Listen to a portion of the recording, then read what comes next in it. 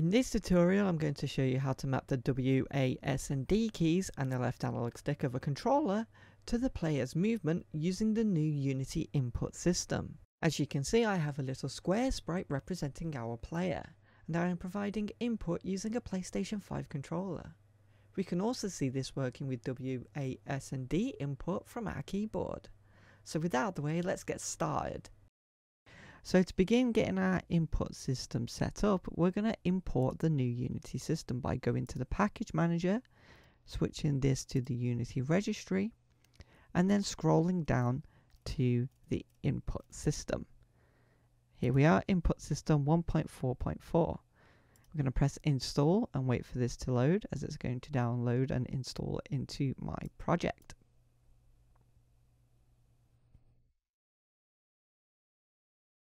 As you can see, we're now unpacking the package and it's compiling all of the scripts required for it. Now, when we change our input system to the new Unity input system, we will have to restart the editor. We can just press yes and it will do this automatically for us. So now we're back into the Unity editor, we can switch the package view to in project and we can see that the input system is installed. We can close the package manager and we're ready to get started creating our input controls. So to begin with, we're going to go to our project view. We're going to go assets and in this folder import, I'm going to right click, go create. And at the bottom, we have the input actions. I'm going to click this. I'm going to rename it to custom input. We're going to double click it to open up the input action window. Now to start with, we're going to press the plus icon. And we're going to create a new action map. I'm going to rename this to player. And by default, we have a new action set up for us. I'm going to rename this to movement. I'm going to click the drop down. I'm going to remove this empty binding. So on our movement action, we're going to go over to the action type. I'm going to change the button to value and then the control type from button to vector 2. This is because our movement works on a vector 2 variable as our x value will be our horizontal axis and our y value will be our vertical axis. So now that we have our movement action set up, we can click this little plus icon and add an up, down, left, right composite binding. This will create a 2D vector binding, which is perfect for our input movement.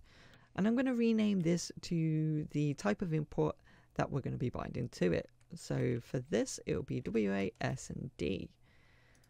Classic WASD movement. So for up, we're going to set the path to keyboard and then the W key on the keyboard. For down, we're going to do S and S key, and left, we can do the A key. And then finally, right, we can set to the D key. And the beauty of this system is we can also do the arrow keys in the exact same way. So by creating a new binding, I'm going to create the arrow keys. And then for up, we can do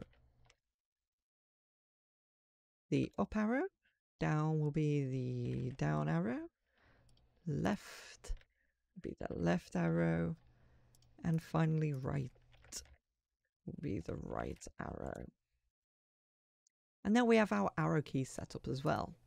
And then finally, we can go on to another up, down, left, right composite. I'm going to call this controller left analog. And then for the up binding, we're going to, instead of going to keyboard, we're going to go back and we're going to go gamepad. And then we're going to go down to the left stick and we're going to do up. And then we're going to do this for each direction. Left stick down, left stick left, left stick right. And now for our movement action, we have WAS and D, the arrow keys, and a controller left analog stick as input set up. So to commit this, we're going to click the save asset and this will save our input into our custom input file and we can close this window. Now to be able to use this class inside of code we need to click the generate C sharp class tick box. So by ticking this and pressing apply this will generate a custom input C sharp script. As you can see, the Unity editor is now recompiling because we have a new script, and this will allow us to be able to access our inputs in C Sharp code. So let's get started on mapping our custom input to our actual player and get some movement going. So if we go to the scripts folder, I'm going to create a new C-sharp script. I'm going to call this player movement. And I'm going to open this up in Visual Studio. So to begin with, we're going to remove the update and start functions that come standard in our class, and we're going to create a private custom input variable. I'm going to name this input, I'm going to set it to null by default. I'm then going to create an awake method, an onEnable method, and an onDisable method. Now we need to set up our input variable by actually giving it a value. So I'm going to do input equals new custom input parentheses and then a colon. And then to enable the input, we have to do input dot enable. And then to disable it, we do input dot disable. And we put these on the in the on enable and on disable functions. So when the game object is enabled, we enable the input. And when the game object is disabled, we disable the input. So next what we're going to do is we're going to create the function that will be called when we provide input. So I'm going to create a new private void and I'm going to call this on movement performed. Now we need to subscribe to the action that we created in our action map in our on enable function. So to do this, we're going to do input dot player, which is what we named our action map, movement, which is what we named our action, and then we want to register to the performed action, which is a type of system action, which is a part of the Unity input system. So we're going to do plus equals, and then we're going to do on movement performed. And now we get an error.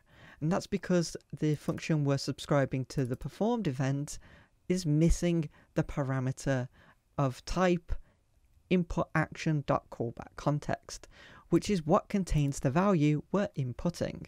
So to fix this, we can just add input action dot callback context and give this variable name. I'm going to give it the name value. So there we have it.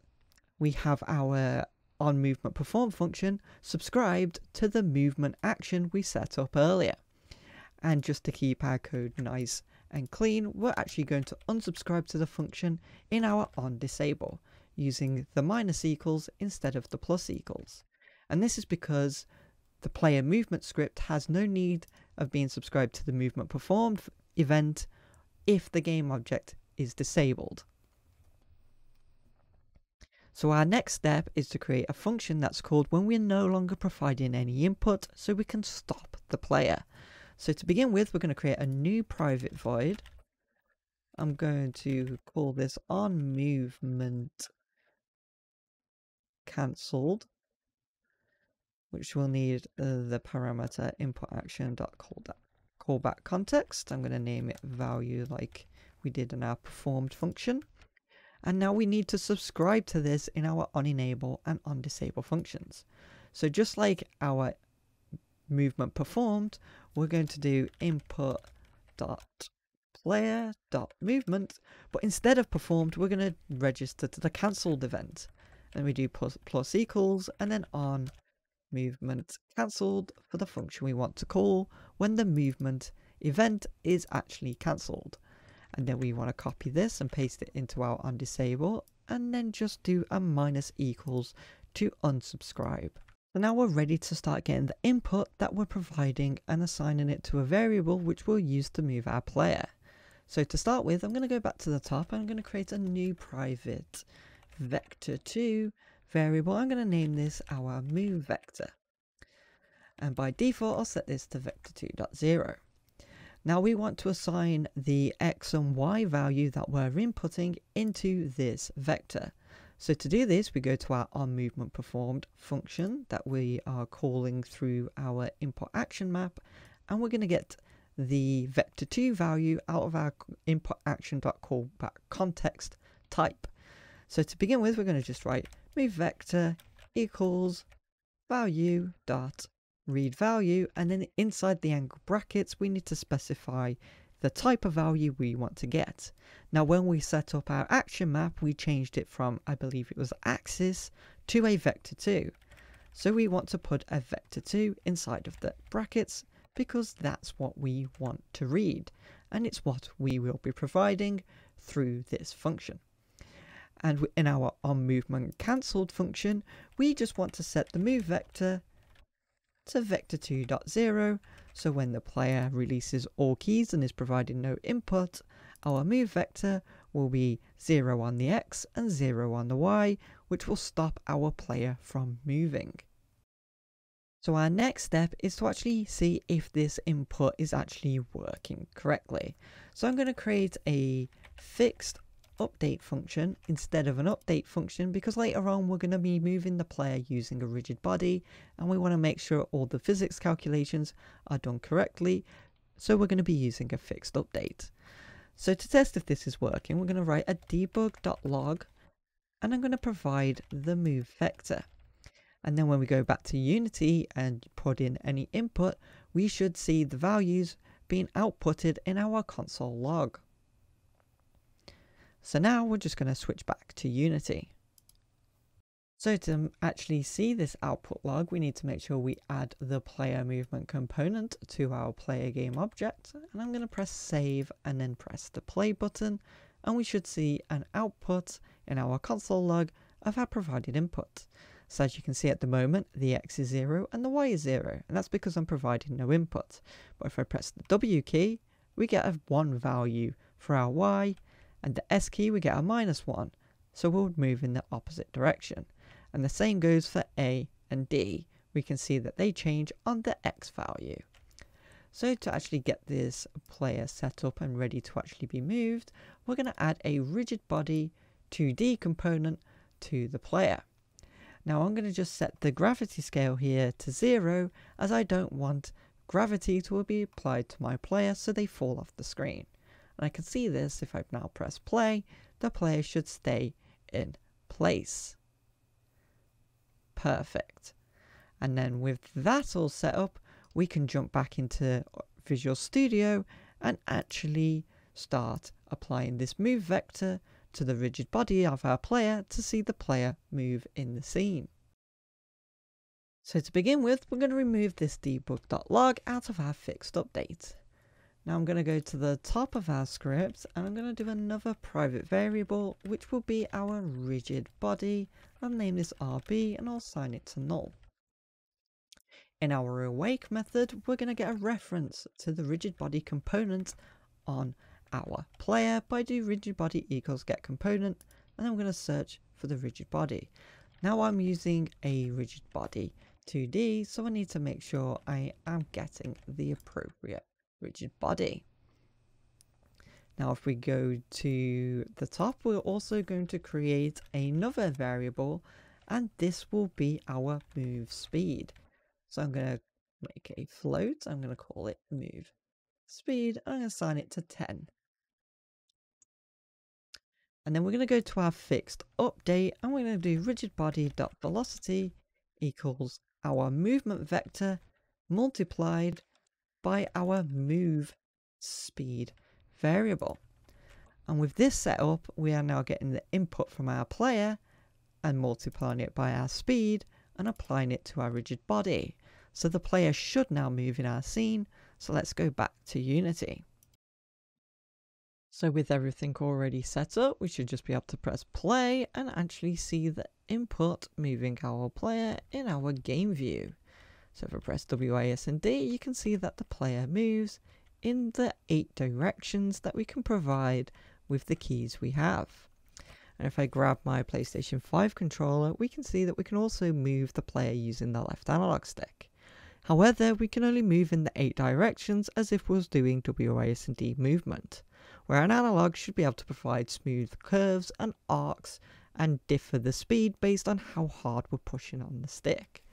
So to fix this, what we're going to do is we're going to exit play mode, go to our custom input file, and then go to the controller left analog and change the mode from digital normalized to analog. Then we're going to save the asset and then close the window. So when we press play, we should see the player move in the expected way when we use the analog stick. So as you can see, if we provide a little input, we only move a little bit, and we can get those sweeping curve arcs that we can't get using a WA S&D input. And likewise, the WA S&D still works in the same way, and we can easily switch between the two by just providing the input. So one of the nice things about this system is that we're only using these lines of code to do the input for both the WASD and the controller, which makes it much easier to expand to other different types of controller input in the future. If you found this video helpful, press the like button, and if you wish to see more Unity slash game dev tutorials, hit subscribe. It really helps motivate me to make more videos like this, but that's all for now. I'll see you in the next one.